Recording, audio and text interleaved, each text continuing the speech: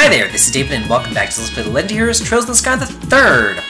Today, we're looking over here because there's some Dull Knight books on the bookshelf. Yeah, we can, uh, read all these here. They, uh, wow, 1 through 11 all in one book, seriously? Yeah, those things first appeared in, um, Song of the Ocean, so, yeah, we'll be reading those in yet another bonus episode. But today, since I went ahead and I stuck Oliver and Mueller in my party last time, I figured we might as well go ahead and do their door. We have plenty of doors to do. We have Sun, Sun Door 4, Star Door 6, 7, and 8. So today we're going to be knocking out the first half of Star Door 8 because it is a rather long scene. Yeah, I just kind of wanted to put the doors in their own videos, you know, just make it clean rather than having, you know, half of a door and half of a story or half of a dungeon just kind of all conglomerated together. It just makes more sense to do it this way. So, yeah. Uh, maybe we'll get to see how they first became friends or something? Maybe some sort of sexual encounter? Who knows? I kinda doubt it though, but maybe. Oh, okay, so a month after the events of, um, second chapter, Oh, yeah, we saw that.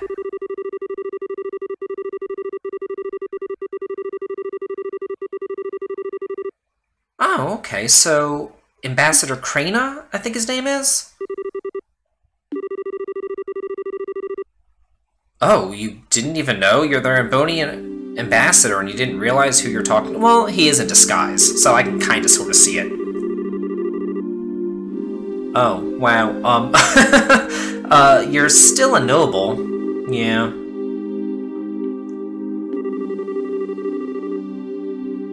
Um, I kind of beg to differ. You still can pull some strings.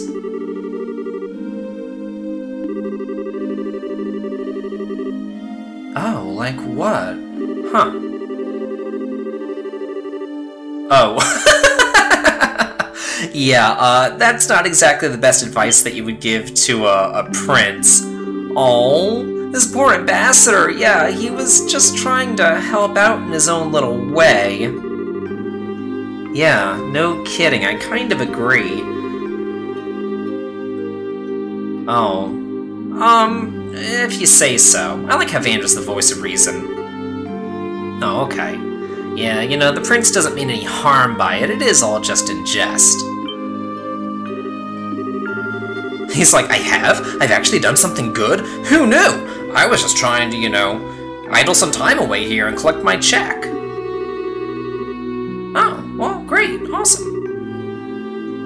Well, at least um, he realizes that he's doing some good work. Oh, yeah. Oh, yeah. An Erebonian and here in Liberl.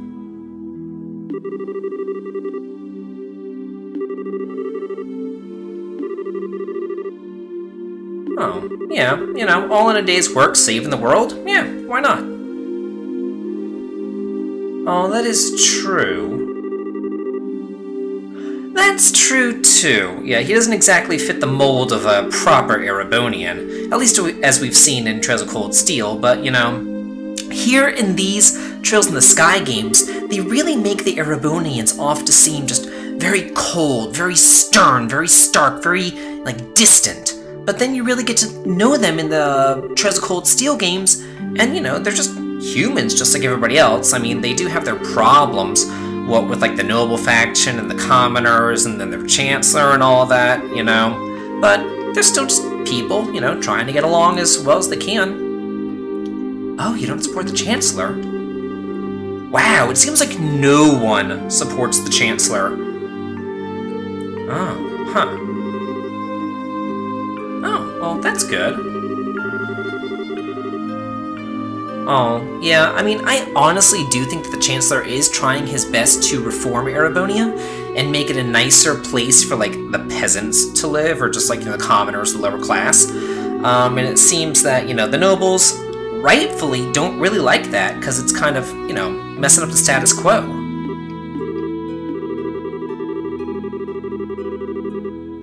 Oh, oh, you're leaving. Huh, oh, I guess you do have to get back to Erebonia.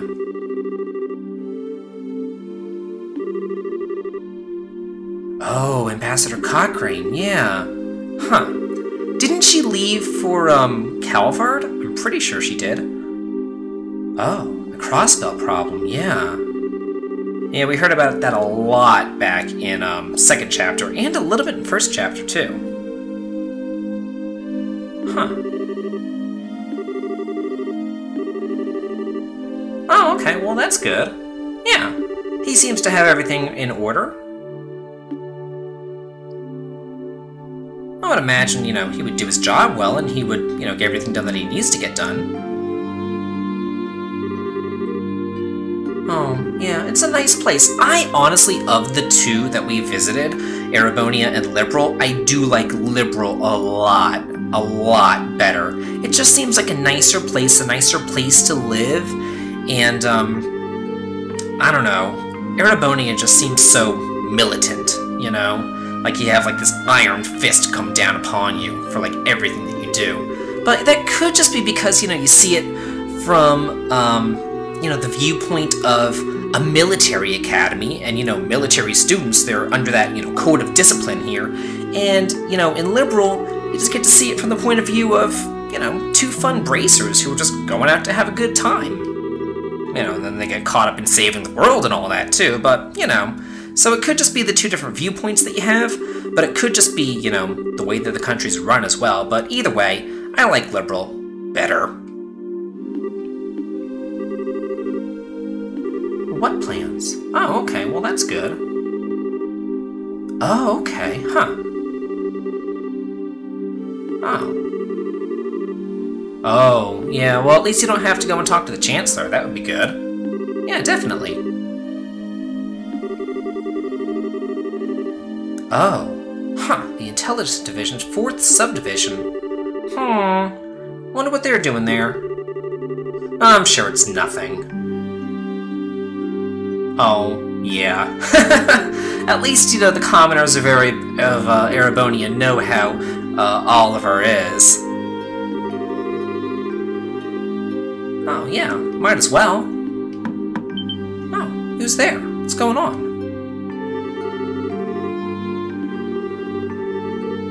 Oh, um, yeah, come on in and, uh, let me see the message. Oh, hey, is that Lecter? Huh. Yeah, no kidding. Oh. Oh, well, you know, at least he came and said hi and all that. uh, I think that they're probably going to pass on that, Oliver. Yeah.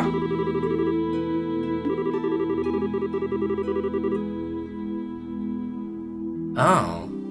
Well, I mean, he's taking an airship, and he's taking the Arseille. It would just be a straight shot. It couldn't take that long. The two countries border each other. I mean, how far could they possibly be?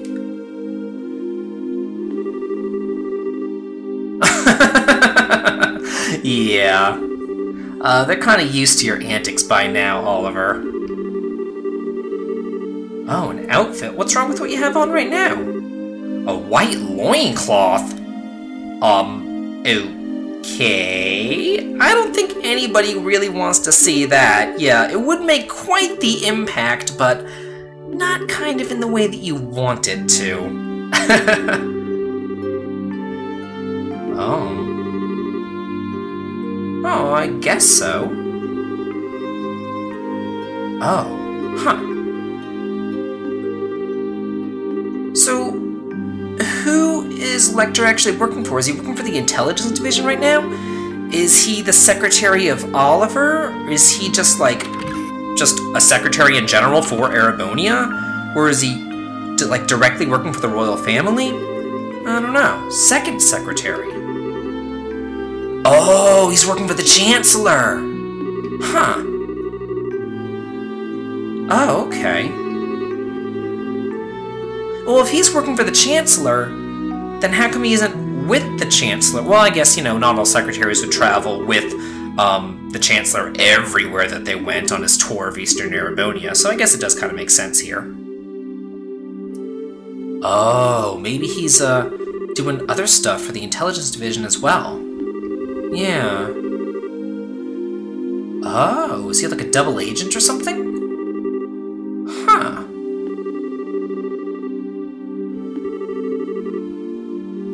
Good for you. You know what you're doing. You're a smart cookie, aren't you? I'll be counting on you, love. Oh, the moon.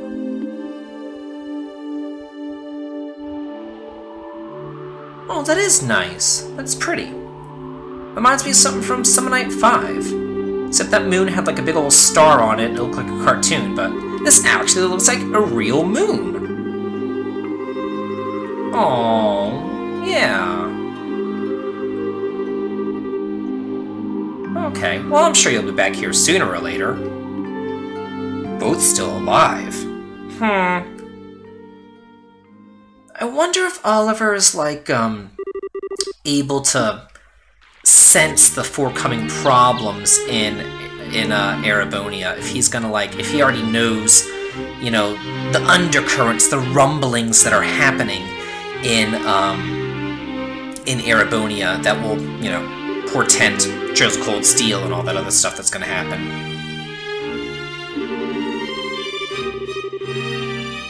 Huh. Well, you know, it's the least that she could do for a fellow ally and, um, you know, royal household member.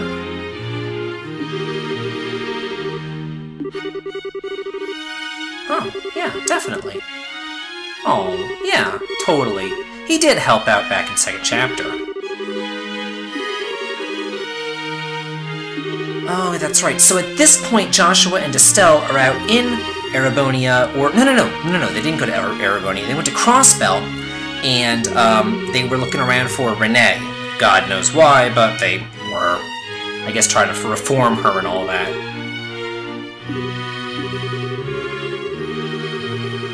Oh, oh, well, that's nice of them. Yeah, definitely. Hamel is, um, it got ruined during the 100 Days War and everything, and it's actually Joshua's hometown. And uh, Karen's grave is there. Karen is Joshua's sister.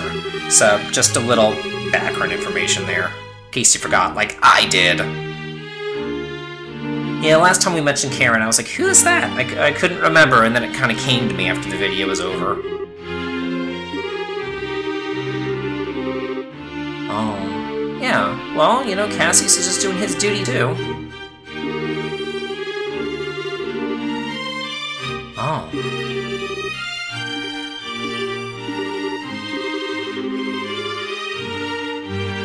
Really? They're trying to occupy every single other country? They would have plenty to gain by occupying Liberl. They'd have all of Liberl's natural resources as well as their technological resources, too. Oh, yeah, pretty much.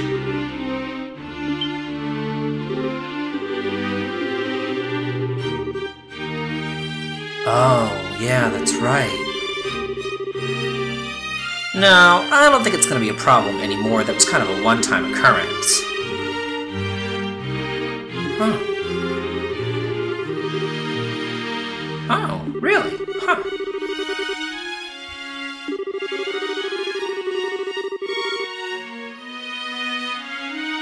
Well, why would they want to? I mean, if you have orbital technology, why would you want to use steam technology? It's like going back and like using like a Walkman whenever you have an MP3 player. Really? I think that you'll do fine, Chloe.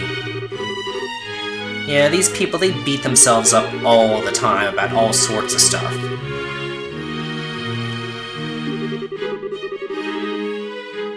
Oh, yeah. You know, they don't call him the Blood and Iron Chancellor for nothing, do they?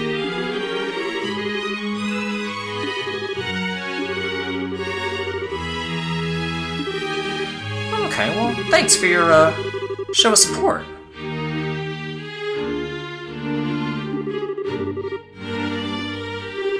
Whoa! What's going on? Who's there? Oh, it's Hilda. What do you want? Yeah, what's going on? Oh, a guest! Well, who is it? Oh, an irregular guest? I hope it's nothing bad.